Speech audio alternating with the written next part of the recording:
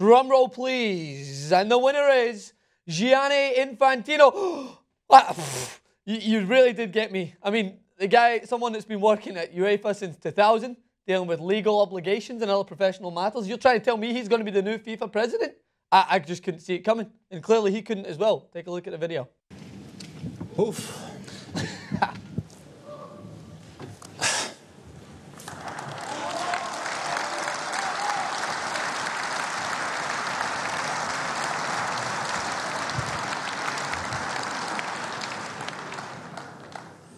Dear friends, chers amis, cari amici, queridos amigos, etc., etc., I cannot express my feelings in this moment.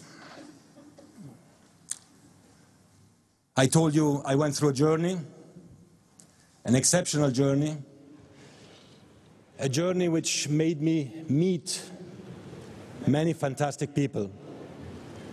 Many people who love football, who live football, who breathe football every day.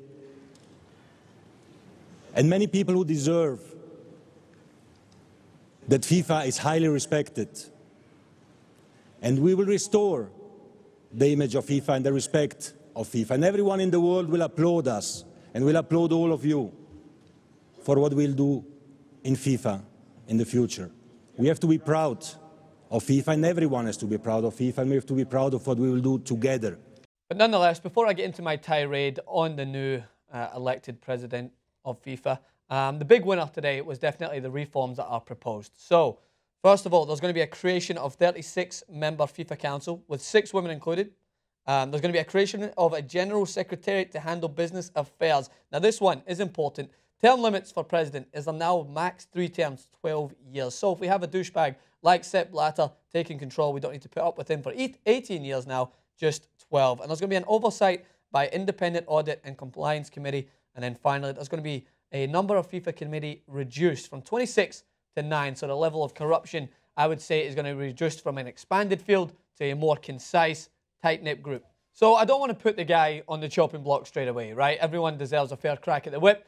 Nonetheless, it's FIFA. They deserved it. I'm a fan of football. I have every right to question this decision. I have every right to be pessimistic, and I have every right to expect that just because he speaks six different languages, that he will then know the word corruption in six different languages, because that's how FIFA's been run, right? And there's one point that I want to make straight away, right? In his uh, speech, he talked about transparency.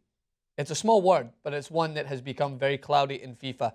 Um, there's been many different questions posed to them. Why don't you kind of open the gates and showcase how FIFA's run to the broader public, to the people who pay for your salaries? Why don't you showcase the election, televise it, televise all of the uh, the different meetings that go involved in making sure that this election is fair and just? Because in doing so, therefore, you portray the image that you want to go forward with. You don't keep everything behind closed doors. Because I know firsthand, I have friends that have attended and asked questions to those involved in the presidential elections and they're very closed. Oh no, no, it's you can televise it. It's uh, it would cause problems. Why?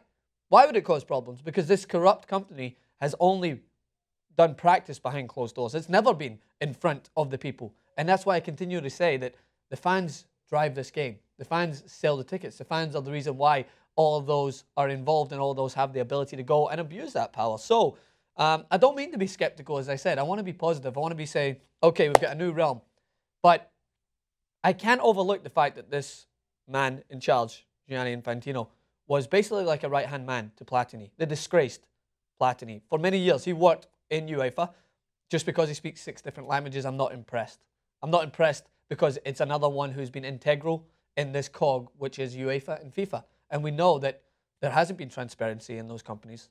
There hasn't been transparency in their interaction and their transactions and the corruption that's been involved. So I am going to be skeptical, and so should many football fans, because this is another member who has been, maybe he's not been directly involved. I'm not saying everyone involved in the company is a bad egg, but when they are within the house that has been so, I would say, disgusting in their actions, you can't help but sense that they, he may have got a whiff of what they were cooking. He may have just had a scent of what was going on in there and maybe let it go by, or maybe we don't know. I'm not going to hold them. I'm not going to accuse anyone of anything they haven't done, but I am I have every right, as everyone does in the world of football, to be skeptical of an integral hire.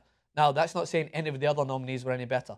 This is why FIFA became a problem. This is why the likes of Luis Figo and David Ginola and those players that love and support the game didn't, I would say, put themselves as forward as they could because they knew they were fighting a losing battle. Because FIFA is an ancestral company. That's what the only way to describe it is it's going to be in-house hires. If this man goes on to change things through actions, I will be the first to say, you know what? I was a little bit too pessimistic. Things are looking up. FIFA is going in a better place. But at the moment, as everyone should be, you're just going to be like, eh, okay. I'm not shocked that it was an internal hire. I'm not shocked that it was someone who's been involved in the company for a while. I just want to see actions. I'm sure everyone themselves will be waiting to see actions. So we want to know what you guys think. Was this a shock to you? What are you, uh, are you optimistic for the world of football, or are you like me and just need to take a shot of whiskey every time you think about the name FIFA? Let me know what you think in the comment section below. Hit us up on Twitter at Francis underscore Maxwell at TYT Sports and come back and subscribe.